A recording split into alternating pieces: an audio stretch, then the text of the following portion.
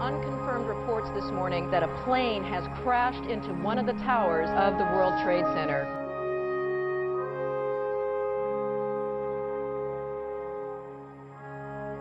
The officers and um, senior enlisted on the Naval side are fabulous at the Naval Academy, but the Marines reminded me of cops. And, and I say this because it's, it was this, grumbling of, oh, we work longer hours, we're underappreciated, underpaid, we have the worst gear, but at the end of every single day, there's this, like, there's this pride in being a Marine. I grew up in a family of police officers, and it's very similar, you know, and um, I, that just appealed to me, appealed to my soul. Um, and then 9-11 happened and it really just secured that decision even further. The whole conversation changed. I, I would argue that it changed, truly changed the course of modern history.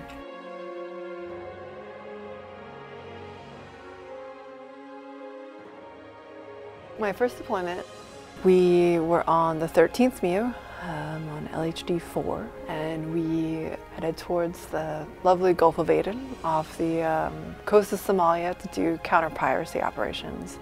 It was uh, JTF Joint Task Force 151 under uh, Admiral Howard.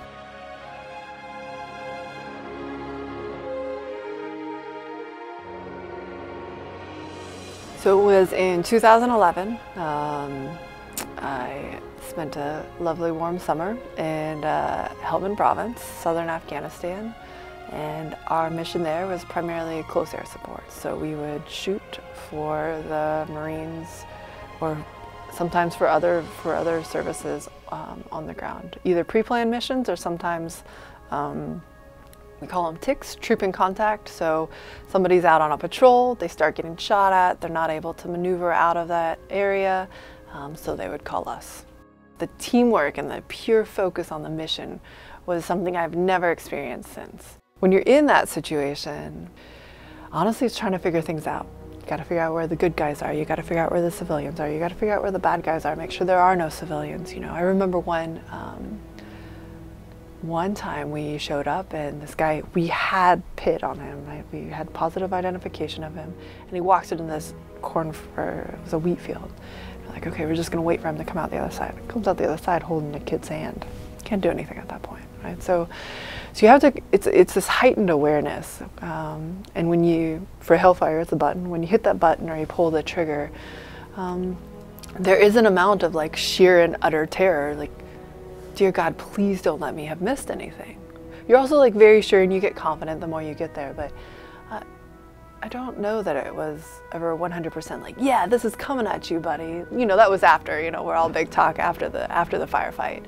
Um, but at the time, it's like, okay, I think I got this down. Please, please do not let me have missed something. I did feel the need to prove myself more than I think maybe some of my peers did. But combat's the great equalizer. You know, you can be the stud of the squadron and you get into a combat situation and if you choke, okay? You can be somebody who maybe people aren't sure about and you step up to the plate. At the end of the day, nobody cared, um, whatever their feelings were. Nobody really cared as long as I was competent. So yeah, the, I, I, would say throughout my career there are certainly challenges with people's biases, but um, it never inhibited me doing my job. I was surrounded by phenomenal Marines. I never had an issue leading my Marines as a woman, never had anybody question anything. Um, worked with 65 of some of the most gifted human beings and most patriotic human beings I've ever met as far as the Marines I led. And my peers, for the most part, I didn't have any issues.